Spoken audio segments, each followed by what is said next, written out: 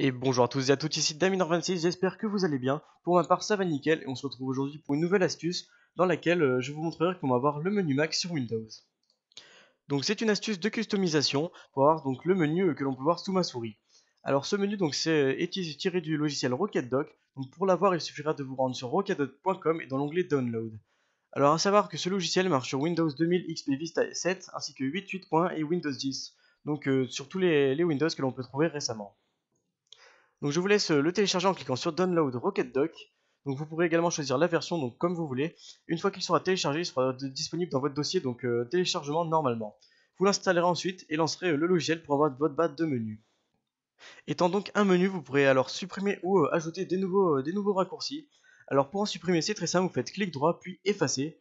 Ou pour en ajouter, soit clic droit, nouveau raccourci, et ajouter donc un fichier. Par exemple, moi je vais prendre le changelog, je vais ouvrir et donc un nouveau raccourci sera apparu sur ma barre ou encore prendre euh, déjà un raccourci déjà présent sur votre ordinateur et euh, le, faire glisser sur votre barre.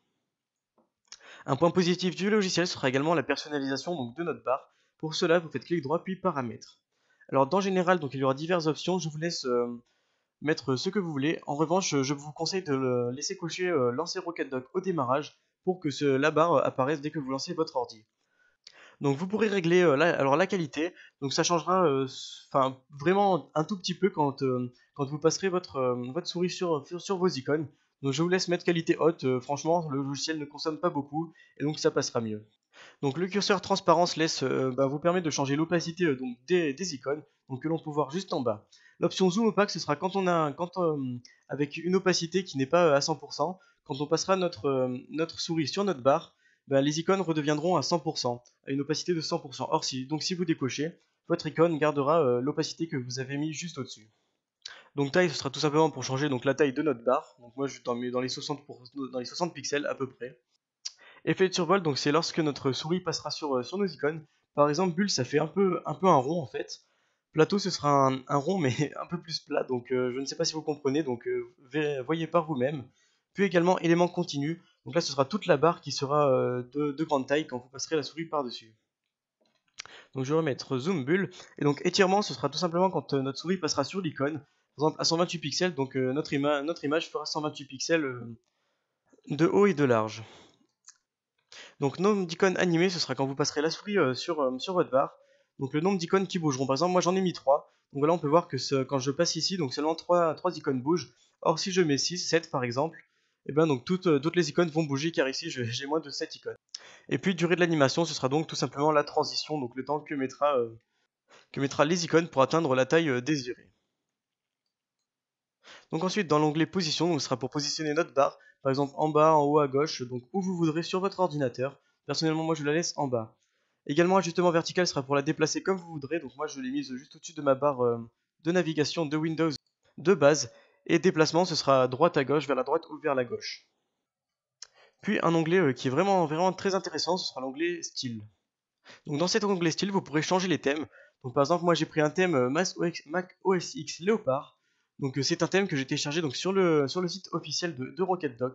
Donc pour l'avoir, vous, irez donc également sur, le site officiel, puis dans Add-on. Et là, donc, vous téléchargerez par exemple ce, style, donc Mac OS X Léopard Skin. Alors ensuite, pour l'utiliser, il faudra tout simplement copier le dossier que vous viendrez de télécharger et le mettre dans, bah, l'endroit en fait tout simplement où ce sera installé donc euh, RocketDoc. Donc pour moi c'est dans Programme File 86, RocketDoc, puis ensuite vous irez dans Skin et là vous collerez votre dossier. Donc moi on peut voir que j'ai mon dossier Mac OS X qui peut me permettre d'avoir le skin euh, de cette barre. Alors donc revenons dans les paramètres. Donc là voilà, donc euh, niveau transparence, ce sera pour changer la transparence tout simplement de la barre, non pas des icônes mais de la barre seulement. Puis ensuite, euh, tout ce qui est police, ombre et contour euh, du texte, ainsi que l'opacité du contour, l'opacité de l'ombre, donc je vous laisse faire comme vous voudrez. Donc à savoir que le texte euh, s'affiche tout en haut de l'icône quand on passe la souris par-dessus. Ensuite, l'effet d'activation, ce sera quand on... Pardonnez-moi, ce sera quand on cliquera sur, sur une icône de la barre. Donc si je mets rebond, je clique sur OK, donc quand on cliquera sur l'icône, celle-ci va, va rebondir. Donc personnellement, je n'aime pas, je vais laisser à aucun. Ensuite, masquer automatiquement RocketDog servira à faire disparaître la barre, et pour la faire réapparaître, il faudra tout simplement mettre la souris euh, dans le bord là où vous l'avez mise. Donc par exemple, moi, elle est, ma, barre était par ici, donc je mets la souris tout en bas et ma barre réapparaît.